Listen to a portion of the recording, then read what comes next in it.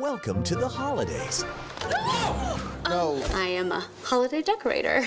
That's the thing? Alexa PenaVega and Jonathan Bennett turn up the holiday charm. You could host Christmas this year. Oh, no. I want to hire you for all things Christmas.